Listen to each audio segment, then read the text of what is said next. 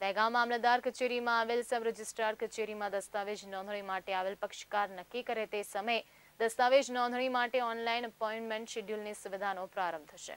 ગાંધીનગર જિલ્લાના દહેગામ ખાતે Dehgam sub registrar કચેરીમાં દસ્તાવેજ નોંધણી માટે હવે પક્ષકાર નક્કી કરે તે સમયે સબ રજિસ્ટ્રાર કચેરીમાં દસ્તાવેજ નોંધણી માટે ઓનલાઈન અપોઇન્ટમેન્ટની શેડ્યુલની સુવિધાનો બીજી માર્ચથી પ્રારંભ કરવામાં આવશે.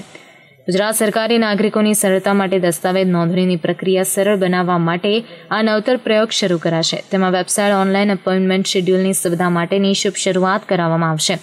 અત્યારે દસ્તાવેજ નોંધણી માટે ટોકન સિસ્ટમ અમલમાં છે. તેને માટે જાહેર જનતાના દસ્તાવેજ સમયસર થતા ન હતા.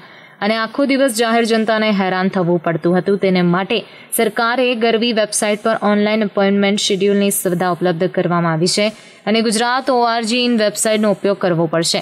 આ સાઇટ પર ઓનલાઈન અપોઇન્ટમેન્ટ શેડ્યુલ મેનુ જોઈને જેમાં પક્ષકારે દસ્તાવેજ રજૂ કરનારનું નામ, સરનામું મોબાઈલ નંબર, ઈમેલ આઈડી અને અવેજની રકમની એન્ટ્રી કરવાની રહેશે. તેમજ દસ્તાવેજના પ્રથમ પાનાનો ફોટો અપલોડ કરવાનો રહેશે. ત્યારબાદ પક્ષકારે પોતાની અનુકૂળતા પ્રમાણે તારીખ અને સમયની પસંદગી કરવાની રહેશે.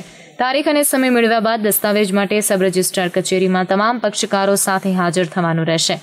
સંબંધી સબ રજિસ્ટ્રાર કચેરીમાં સબ રજિસ્ટ્રાર દ્વારા દસ્તાવેજની ચકાસણી કરી નોંધણીની કાર્યવાહી હાથ ધરવામાં આવશે. તેથી આ યોજના અમલમાં આવતા નોંધણી પ્રક્રિયા સરળ બનશે. Bureau report, live Gujarat news.